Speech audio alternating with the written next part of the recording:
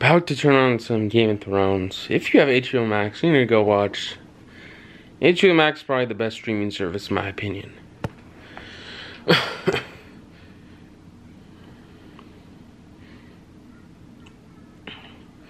About to turn on Game of Thrones. I obviously won't show it just because I want to get any sort of copyright on this video or anything like that. Probably shouldn't film for some of the day and let's see what happens. About, about to go take the dog outside.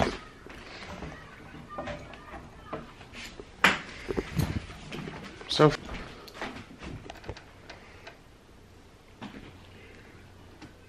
Hey.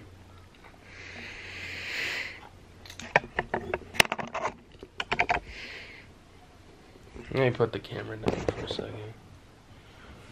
Sorry to get in one hand.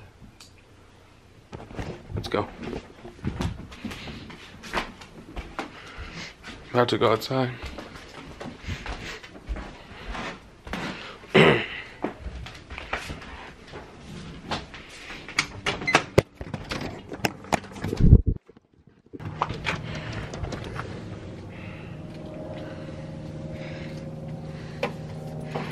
Inside.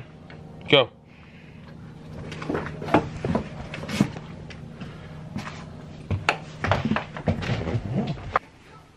You like that?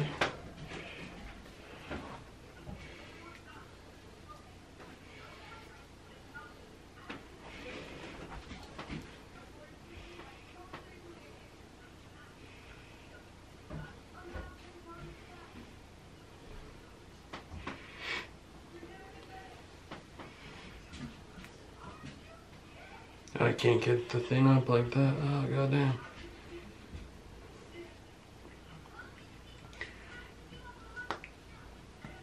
Might get gym membership today. That might that'll probably be good. We'll see how that goes.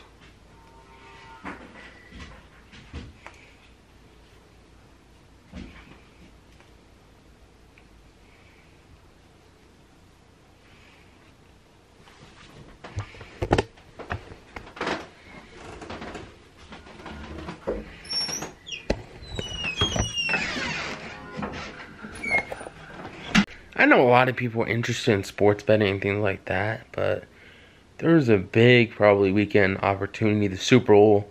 I'm picking the Eagles 35-27. I think the spread for the Eagles is negative one. I'm picking to win that game. If you agree, comment down below.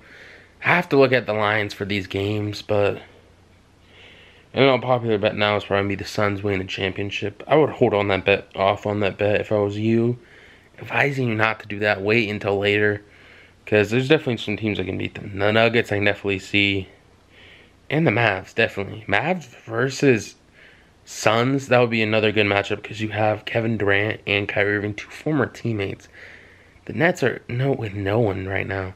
Kyrie Irving getting traded the Mavs is probably a good move for the Mavs. Luka, he just got injured. Hopefully comes back healthy. But the line right now, money line for the Eagles is 125. And then for the Chiefs, it's plus 105 and negative 1.5 for the spread for the Eagles. I would take that spread and that money line. You should honestly bet that.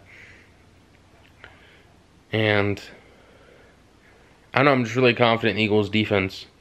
I think they're going to get it done.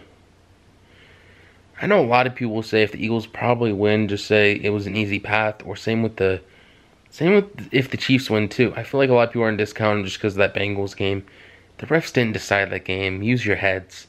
NFL wasn't scripted. The refs didn't influence that game that much. And there's plenty of other calls that they probably could have called as well. And there were just pretty good calls out there.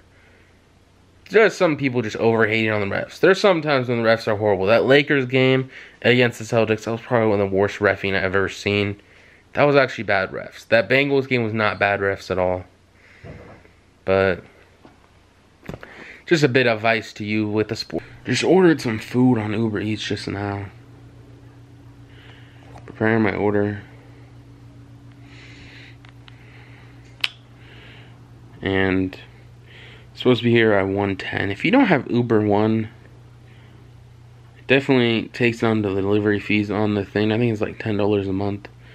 I'm gonna start using. I'm it's still in the free trial, but I'm gonna start using more. Might go sit down and eat after this once it comes, and just ordered some food from Uber Eats, some Panda Express. Really full from it, and it was really good. Orange chicken from Panda Express is one of the best.